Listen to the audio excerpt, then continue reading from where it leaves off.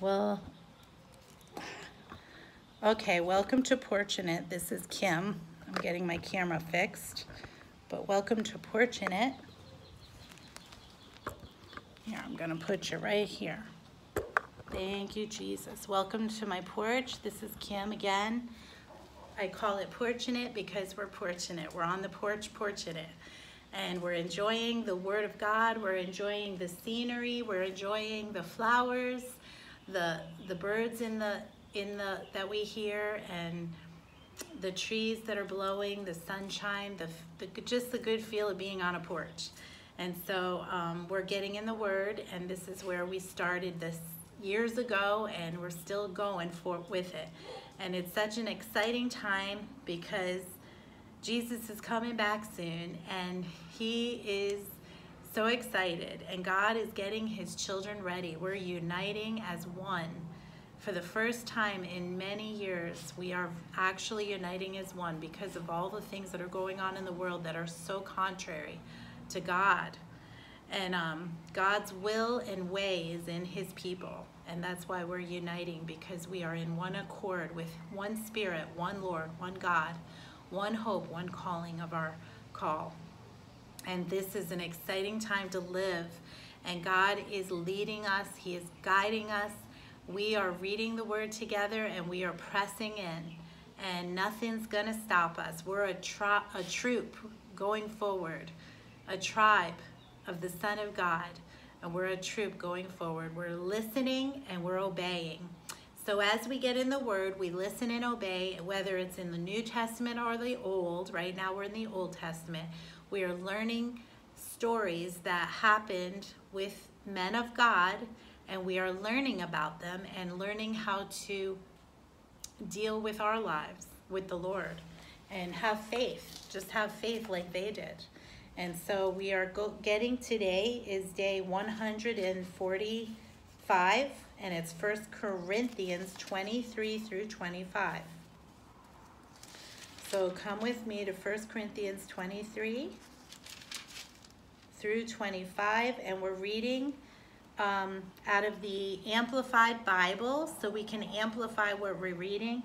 And I'm I noticed there's a lot of um, names, and I'm going to just read it, and I'm going to skip the names. I'll, I'll say how many brothers or how many sons, but I'm not gonna say the names because there's so many names and I don't like the way I, I try to say it, but I know that I'm not saying the names right. So I'm just gonna count how many sons there were so you'll know. But this is an amplified Bible, so you get more of an amplified effect. And um, and just let's pray. Lord, we thank you for this evening and we thank you for your word to us. Thank you for the many days that we've been doing this and the time that we have had to get in your word together and that you speak to each one of our hearts as we are reading together. We thank you that you give us a desire to get in your word more, a hunger for your word because it's life to our spirit. And we know that it will heal our bodies and restore our soul. Our body and our soul will be restored and healed when we get the Word of God in full. Because we are a spirit, we live in a body, and we have a soul. So Lord, we want you to be the Lord, the Lord over our soul, over our bodies, over us, our spirit. And we just give you glory. Speak through my mouth, Lord, as I as I read. Give me words to maybe amplify what's amplified here. In Jesus' name we pray. Amen. Okay. First Chronicles 23. When David was old and full of days, he made Solomon his son king over Israel. David assembled all the leaders of Israel with the priests and Levites. The Levites, 30 years old and upward, numbered many, man by man, 38,000, of whom 24,000 were to oversee the work of the house of the Lord. 6,000 were to be officers and judges. And said David, 4,000 shall be gatekeepers, and 4,000 are to praise the Lord with the instruments which I made for praise. Wow, 4,000 are gatekeepers, 4,000 are praisers. And David organized them in sections according to the sons of Levi. Okay, and he had one, two, three sons. Of the Gershonites, which had one, two, and then the sons of Ladan, one, two, three. The sons of Shammai, one, two, three in all. These were the heads of the father's house of Ladan.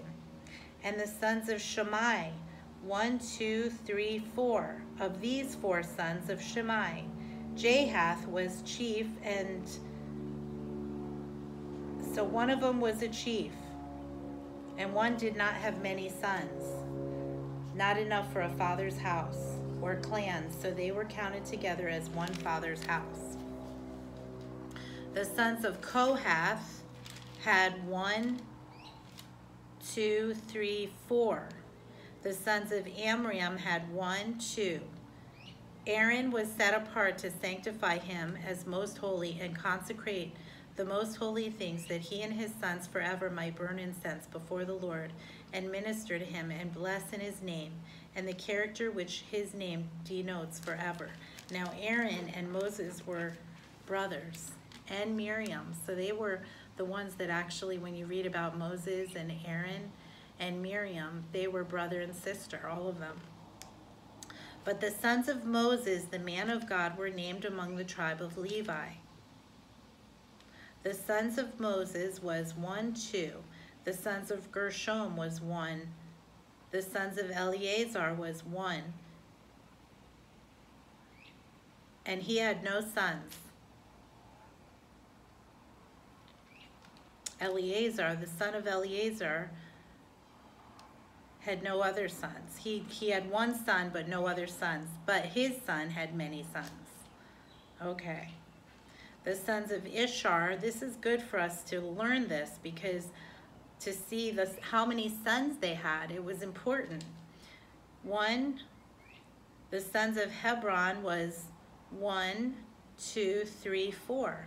The sons of Uzziel was Micah the first and Isha the second. Micah. Micah is in the Bible, uh, a book in the Bible. The sons of Merari was one, two. The sons of Malai was two. Eleazar died and had no sons, but daughters only, and three kinsmen. Sons of Kish took them as wives. The sons of Mushi was one, two, three.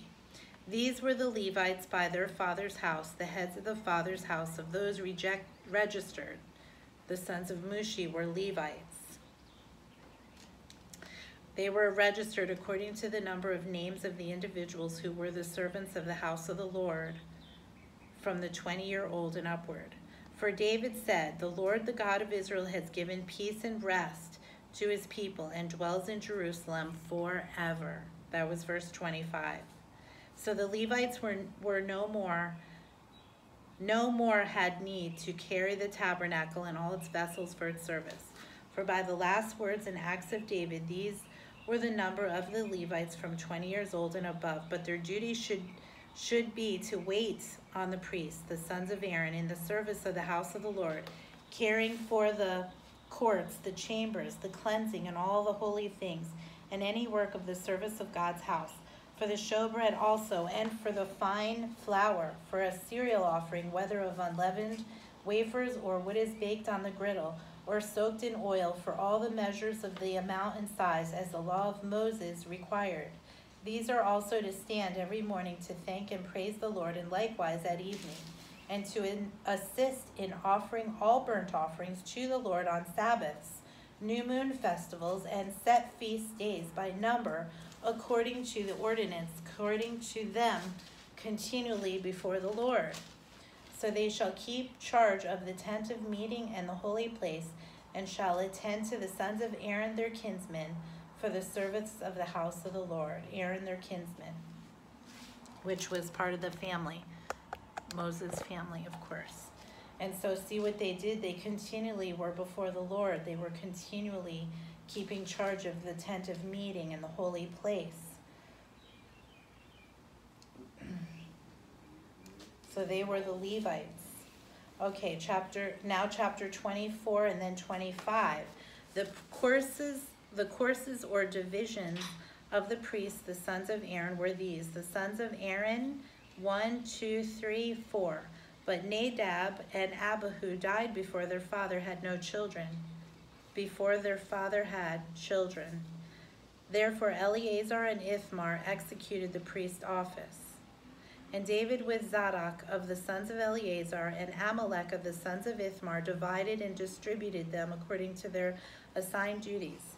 Since there were more chief men found among the sons of Eleazar because of the misfortunes of Eli and Saul's slaughter of the priest at Nob, then among the sons of Ithamar they were divided thus sixteen heads of fathers' houses of the sons of Eleazar, and eight of the sons of Ithamar, according to their father's house.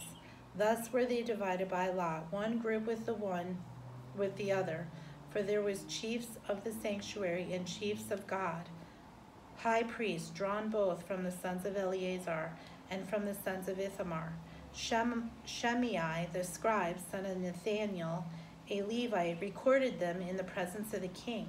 The princess Zadok, the priest, Amalek, sons of Abiathar, the priest who escaped being killed at Nob by Saul and fled to David, and the heads of the father's house, of the priest of the Levite, one father's house being taken for Eleazar and one for Ithamar. The lots fell, the first one to Jerub, the second to Jediah, the third to Haram, the fourth to Seorim, the fifth to Malja, the sixth to Majamin, the seventh to Hagaz, the eighth to Abijah, the ninth to Jeshua, the tenth to Shechemah, the eleventh to Elishabab, to the twelfth to Jacob, the thirteenth to Huppah, the fourteenth to Jeshub, the fifteenth to Bilgah, the sixteenth to Immer, the seventeenth to Hazir, the eighteenth to Hepzah, the nineteenth to Petha, the twentieth to Jekal, the third, the twenty-first to Jakin, and the twenty-second to Gamul, the twenty-third to Deliah, the 24th to Mosiah. There, this was their order for coming on duty to serve in the house of the Lord according to the procedure ordered for them by their forefather. Aaron, as the Lord the God of Israel had commanded them. As for the rest of the sons of Levi, of the sons of Amram, Shubael of the sons of Shubael, Jehadiah of Rehabiah, the sons of Rehabiah, Isha, the chief of the Israelites. There was one of the sons of the sons of Hebron. There was one, two, three, four. The sons of Uzziel, Micah, and Shamir of the son of Micah, Shamir the brother of Micah, 1 2. Zechariah, Ishai, and Zechariah, the sons of Merai, Mahalai, and Mushi, the sons of, of Jehaziah. The sons of Merai, 1, 2, 3, 4, 5. Of Malai, Eleazar, who had no sons. Of Kish, the son of Kish. Jeremiel, the sons of Mushi. One, two, three. These were the sons of the Levites according to their father's house. Likewise, they likewise cast lots, as did their kinsmen, the sons of Aaron, in the presence of David the king, and the heads of the father's house of the priests and Levites, the head of each house, and the younger brothers alike. Chapter 25 Also David and the chief of the host separated to the temple service some of the sons of Asaph, Heman and Jeduthun, who would prophesy, being inspired with lyres, harps, and cymbals. The list of the musicians according to their service was the sons of Asaph, one, two, three, and 4. The sons of Asaph, under the direction of Asaph, who prophesied, witnessed, and testified under divine inspiration keeping with the king's orders. Of the sons of Juthan, one, two, three, four, five, six, uh, under the direction of their father, who witnessed and prophesied under the inspiration of the Holy Spirit of the under the inspiration with the lyre in thanksgiving and praise to the Lord. Of Haman, the sons of Heman, Buka, 1, 2, 3, 4, 5, 6, 7, 8, 9, 10, 11, 12. All these were the sons of Heman, the king's seer, his mediator. In the words and things of God, to exalt him for God, gave to Heman 14, oh, 14 sons and three daughters, all of whom were in the choir under the direction of their father for song in the house of the Lord with cymbals, harps, lyres, for the service of the house of God. Asaph, Jeduthun, and Heman were under the order of the king. So the number of them who led the remainder of the four thousand with their kinsmen who were specially trained in songs for the Lord, all who were talented singers were 288 talented singers. The musicians cast lots for their duties, small and great, teachers and scholars alike.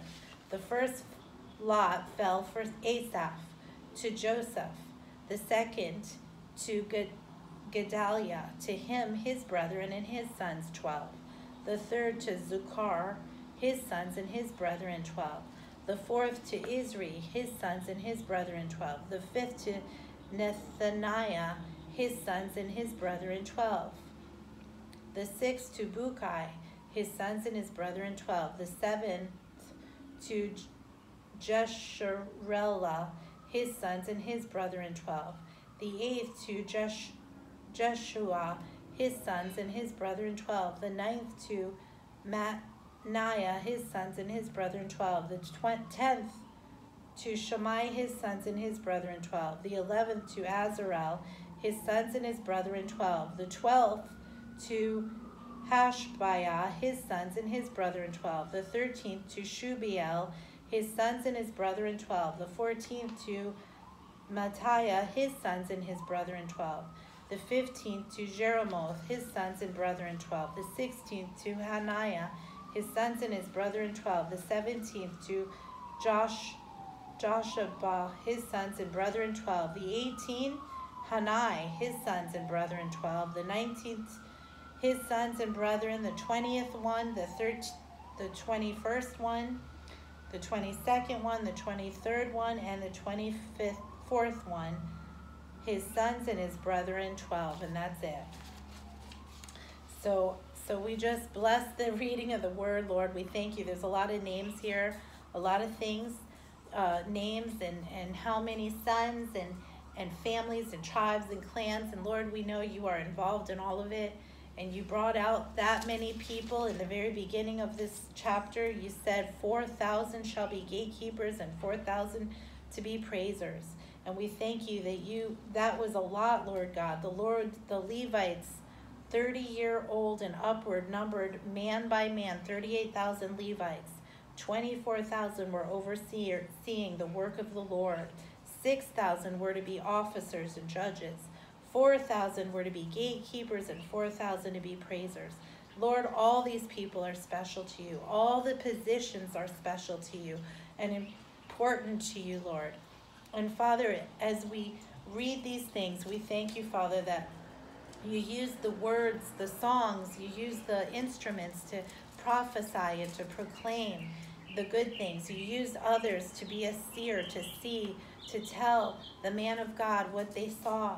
You used each of us, Lord. You gave us gifts.